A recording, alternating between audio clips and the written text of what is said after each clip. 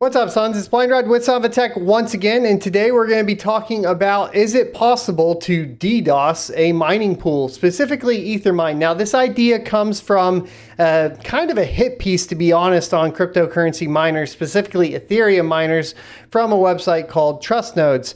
Now, they did some cherry picking on the BitsBeTrippin video covering EIP 1559, as well as the whole miners mining to Ethermine and coordinating that on April 1st, which was a tweet posted by Red Panda Mining a little bit further back than this.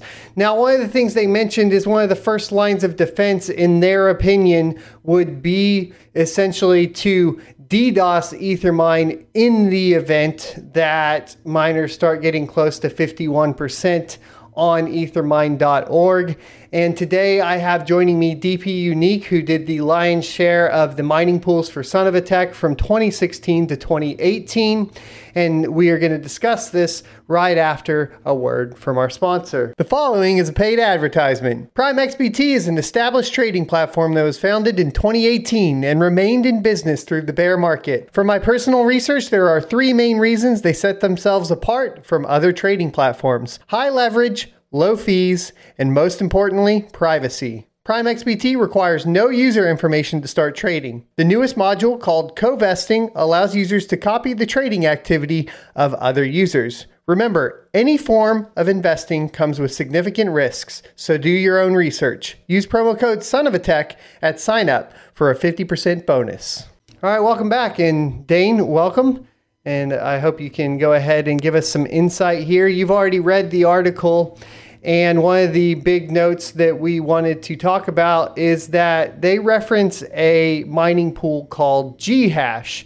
And Ghash essentially had a DDoS attack against them back in 2014 uh, basically when they were getting closer and closer to 51% attack. Now, there's a couple misconceptions here. One is that it actually stopped any sort of mining, and the other one is that it was actually a DDoS attack to prevent it from getting to 51% attack. Now, reviewing uh, the archives from Reddit as well as the archives uh, from their response, it didn't appear that it did anything more than take down the front end. So, to explain that to us, uh, basically, Dane, can you go over essentially what would actually need to be done from a DDoS perspective to stop mining? Uh, yeah. So if we're talking about stopping mining specifically, uh, your cryptocurrency pools are typically divided up into several layers. Uh, you've got the front end, as you discussed with Ghash. Uh, you've got the stratum, which is where your miners connect uh, to to talk to, you know, get the work, and then that stratum talks back to the coin node to actually get you know information, transactions, and do the actual get work RPC commands from the coin node itself. Uh, so if you're talking about DDoSing and trying to prevent mining, you have to try and place a focus on taking down the stratum itself or the coin node.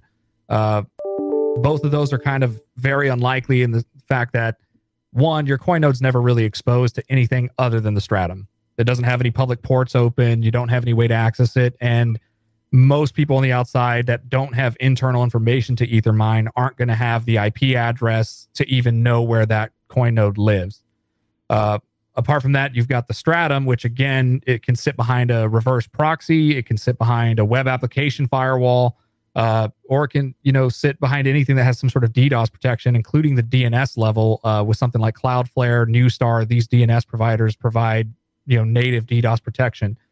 Uh, so there's several layers there in between that. Um, and again, if they're using a reverse proxy, you're also hiding the IP address of the actual Stratum server, so you won't be able to hit it with requests directly. Uh, so you know, like Ghash, my most likely outcome here is that people try to DDoS by attacking the IP that they can find, which ends up just being a web server, and maybe potentially they take down the web server uh, for some regions throughout the day. Uh, but mining itself, I expect to remain online. Yeah, and they would never really be able to stop mining because at that point the miners are still connected to the node. It's not like they need the the front end to communicate with the servers providing the service for the mining pools. And as you guys can see, they have multiple regions covered for Ethermine, and presumably they have failovers as well in place of some sort, I would assume, to where the miners could fail over to a different server. So you'd have to take out at this point at, at least four different regions with at least two known different connections within North America alone. Absolutely, yeah. So uh, most Stratum servers, if you look at the open source tech that's out there, um, and we're basing it off what we know about those, uh, they usually have the ability to support more than one uh, coin node as well as one, more than one uh, stratum. You can set up stratums in high availability uh, because what they do is all the information they have from the workers from the coin node is actually temporarily stored in like a high performance database like Redis, which is an in memory database. Everything gets stored there so that uh, if one of the stratums goes down, it just fails right over to the other one, and all the information they need to know who submitted how many shares is already stored in that Redis database. Uh, so you know, again, that's yet another layer you would have to take down completely to stop mining. Is is the primary and secondary stratums, and then you know potentially another region. Uh, because I can technically mine to the European servers, it's just going to be a lot less performant, but I won't be down and, and losing total profits, and Ethermine won't be uh, losing a ton of traffic.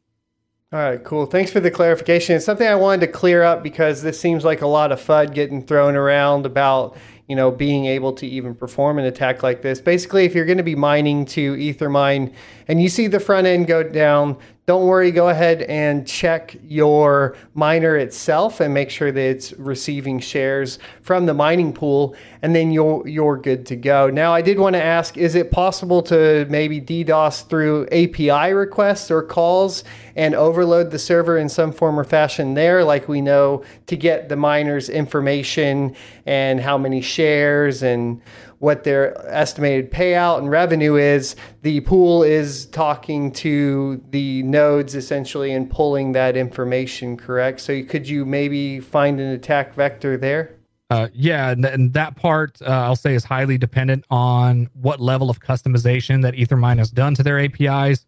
Um, you know, some of the larger pools, what I've seen them do is they'll take, you know, typically the API is hosted with the Stratum on some of the open source solutions. Uh, so in that case, you are talking directly to that stratum, and you could try and send a ton of HTTP requests and and take that API down. Uh, but larger pools, typically one, they'll cache. Uh, so they have another layer of API in front of that with some backend uh, language like PHP or uh, C Sharp or uh, Go or or Node.js. And what they're doing is they're storing the responses from the stratum somewhere local to the web server so that way, if the API goes down or the stratum goes down, all that information is still there. Uh, but also, if you try to hit the API, you're actually hitting that layer in front of the stratum and not directly affecting uh, the the stratum that's being served by the API uh, or the API that's being served by the stratum server. Uh, so you know they could be doing that. They could also have written their own API that pulls the stats straight out of Redis. Which again, if they have that in a highly available uh, setup. You can hit that, and it's all in memory, so the responses are real easy for that thing to handle a couple hundred thousand requests.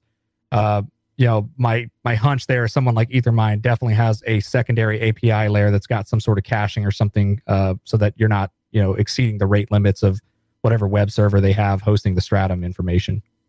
Right. Newer pools that I have seen that have had to resolve this uh, recently would have been Hiveon. I know that they had their basically something go wrong. I guess I don't know if it was with Redis or what, but the miner information wasn't being displayed properly.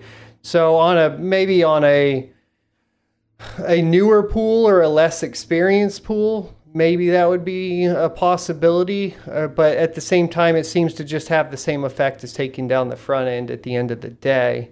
Um, I think the miners would still, it'd be safe to say that the miners would still be able to stay connected and receive shares and perform work. Definitely, yeah. So that that's something I forgot to mention uh, when I was talking about it a second ago. Is typically uh, your API is served by something like Golang, uh, Rust, or a C++ server that's running separately from the uh, the actual stratum itself. The stratum is running on one port through uh, you know some language, and then typically a separate service is running that hosts that API. Uh, so even if you do successfully take down the API, in theory, if it's configured that way, their stratum remains online. You can still send submit shares.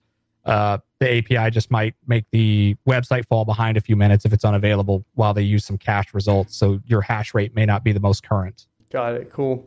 So yeah, I just wanted to do this video with you to basically be able to educate everybody else within the community on kind of this this idea of basically uh, hitting a pool and trying to DDoS it and what would have to go into it. I don't think that it's necessarily something that could be done, uh, even if you are as smart as, say, like, I don't know, the developers of Ethereum either. either. Now, they have different tools that could prevent this, and I'm pretty sure. Uh, that they have plans to prevent this with different tools, right? Uh, because at the end of the day, the miners are communicating with the chain. And so that's where I would see the line of defense being. But what I wanted to do was clear up these misconceptions and this kind of, this uh, basically just I guess poorly written and researched articles so that the community is aware of like how this stuff functions because I feel like a lot of people that are just investing in Ethereum and even some miner and even miners themselves, you know, don't necessarily have all of the information to properly uh, speak on it intelligently. So thanks yeah. for coming on and, and definitely going over that. As far as trustnodes.com, I would not trust trustnodes.com for uh, relevant cryptocurrency information, seeing that their uh, this is their understanding of it. Especially if you do any sort of digging, you can see essentially that the Ghash pool still was sending shares back according to the Reddit archive from that time. And if you look at Ghash's response letter, uh, they noted that they had actually received a bounty a request from the DDoSer who was saying, Give me 5 to 10 BTC and I'll make it stop. They also at that time had done that to an exchange as well. So these DDoS attacks do not appear to be confirmed as a prevention uh, against a 51% attack or a, a pool obtaining 51%. Yeah, now, and if we're yeah, we're talking about the validity of this article, right? And and you know, one thing we brought up is that that Ghash attack is back from 2014. Uh, you know, talking seven years ago, the advancements in technology since then, right? Not even just talking about the fact that the Stratum and the reverse proxy software has ways to protect against DDoS. Naturally, uh, you've got a lot more in the way of stuff like web application firewalls and rules inside of your VPS servers and stuff like that. If Ethermine's using that, I'm sure they have their own data center, but in most cases, you know, you have other layers of technology that are purpose built to prevent DDoS attempts, and they have algorithms that know what valid traffic looks like as opposed to what invalid traffic looks like. And so the moment you start sending that, it'll probably take a few seconds, but I would expect that the uh, servers they have serving out this traffic will kill uh, your connections pretty quickly. Um, and apart from, you know, basically that leaves the only opportunity is to send valid traffic to the network. I was um, going to ask about that. Yeah. Yep, which that that creates two problems. Uh, one, if you're going to try and attack us by sending valid hash rate uh, to Ethermine, you're probably leaning more in towards helping us get to the 51% uh, than you are helping us DDoS that. Now, be careful using the term "us" because we are referring to basically this, this I guess, this movement that that was started by Red Panda Mining and then explained in more depth by BitsBeTrippin. Um, and I want to be careful on that and make sure that we are reporting on this um, as uh, unbiased as possible, I suppose. Yeah, absolutely. Yeah, and, and, by us, I just mean you know I'm part of the mining community. That that's been right. my main source. So I'm saying you know in in people participating in that you know a tech demonstration of saying can we actually move enough hash rate over there to demonstrate you know our concerns with EIP, uh, uh, or at least my concerns with EIP. Uh, in, a technical demonstration way. So when I say that, that's all I'm referring to. Right. Well, and then we also need to clarify the the misconceptions on what miners are trying to do and why they're trying to do it. This is not about being upset about losing money necessarily from burned fees. Miners will shift and move to other coins. The scare is and the potential is that ETH becomes less profitable than other mineable coins by GPUs and enough hash rate drops off a cliff when London and 1559 are put into place that a 51% attack could be coordinated on the Ethereum network. And so that is the actual concern from miners. Now, what I have read is that essentially from the devs, they've said, at least in tweets, with no real, I guess, meat or backing behind it, because we have been requesting that, or no studies or models behind it, that Ethereum could drop 80% of its hash rate and still be secure. Now, that doesn't actually coincide or add up with when you start taking a look at the models that BitsBeTrippin has put into place. And you can tell that Bits is primarily concerned about the security of Ethereum. He has always been an Ethereum fanboy. Um, it's not me so much, uh, not near as much to his level. So he, he has a lot uh, staked within Ethereum. So I wanted to clarify that that's not the intention is not to perform a 51% attack and the intent and the reasoning for this is not necessarily because of profit. Of course, they are correlated, but you can't expect somebody to provide you security at your bar if the bar next door offers more money for the same security. Does that make sense? Yeah, definitely. And, you know, I, I think it gets back to another point of in most uh, technology nowadays, you know, nothing goes into production without first going through a testing phase. Uh, and one of the issues that comes around this when we're talking about EIP 1559 is it's something that everybody's built models around, but there's no real way to predict what's going to happen uh, until it's actually put in place. We see what how the profits are affected. We see what miners decide to do, uh, whether they drop off, whether they just move to another coin, whether they put everything up on NiceHash. Um, and and we haven't really received, like you said, we've been asking for, but we haven't really received any studies or research or or hard documentation from the Ethereum team that says here's why we can drop 80% and still be okay. Uh, all we really have to go off of as miners is the information that content creators like BitsBeTrippin have put out there and put a lot of work into generating and, and why his estimations are the way they are. Uh, so as far as doing some sort of testing phase, I think this is the best that miners can come up with to do is to say, hey, um, let's before EIP goes in, see how much of our hash rate we can actually move uh, to take a look and see you know, do we hit 40%? Do we hit 50% of the network? Um, and that's just trying to do a test. It's not trying to do a, a 51% attack, like you said. You know, I don't think anybody has ill intent here. I think it's specifically uh, just following the trend you typically see in, in the tech world is before something goes into production, you do some sort of test. And I think this is the best people can come up with uh, based on not having all the information that the Ethereum devs have and and only having what we've been able to build as a community or people on YouTube content creators have been able to put out there. Right, and that's one thing. They could know a lot of stuff that we don't know, and everything will be fine, and everything will move forward. And hey, maybe MEV will be good enough to compensate for the profits, and more people will stay mining ETH. These are all possibilities.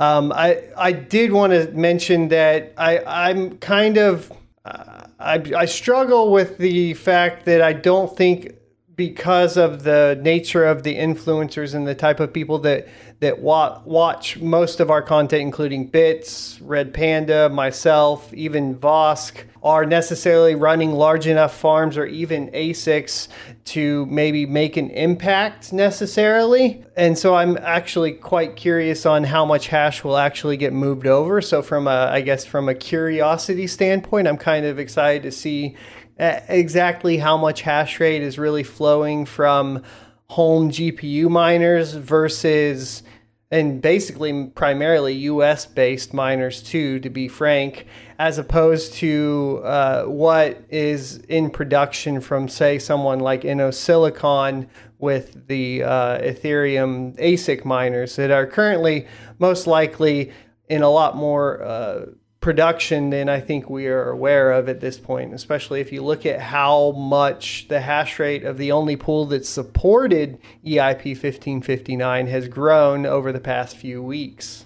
Yeah, definitely. And I think that's another benefit that comes out of this type of demonstration or tech test, right? Is uh, we see what the level of centralization actually looks like. You know, uh, maybe it's massively centralized to to YouTube content creators and to the viewers that watch there, right? Somehow we hit the 51% or it hits 60% while they're doing this demonstration, uh, you know, that would actually be amazing. But I tend to hedge my bets where you are. I think uh, the farms that are overseas in different countries and, and, you know, running ASICs and a combination of GPU farms, Uh, I, I, have a high feeling that maybe we'll get to 40%, if that. Uh, I think 40% would still be considered a success just based on the fact that if 40% or if the same percentage moves over to Ethermine and the rest drop off, or that same amount put everything over to NiceHash, there's more opportunity to create, uh, you know, the thing we're trying to prevent here, which is actually a 51% attack uh, on the Ethereum network. So I, I can I can see there's a lot of benefits coming out of this, and so articles like this that come out and try to dismiss it as you know people having ill intent or you know just quoting certain lines out of context from content creators, I think speaks for itself. And and really, I just think this is the best bet we we can see somebody demonstrate with a tech test of okay, what does centralization look like? How much hash power is actually floating around that that could go up for grabs? Uh, and we just kind of have to wait and see what that looks like at the end of this. Yeah, and maybe it just exposes that it is already currently centralized, right? Um, hash power wise, maybe it does expose that, you know, and that would be interesting too. It's gonna, it, it, it definitely is playing. It's interesting how much um, it is playing a role in the Ethereum price versus the Bitcoin price. We recently had that big jump in Bitcoin price up to like 56,000. It doesn't look like Ethereum is staying at scale with it.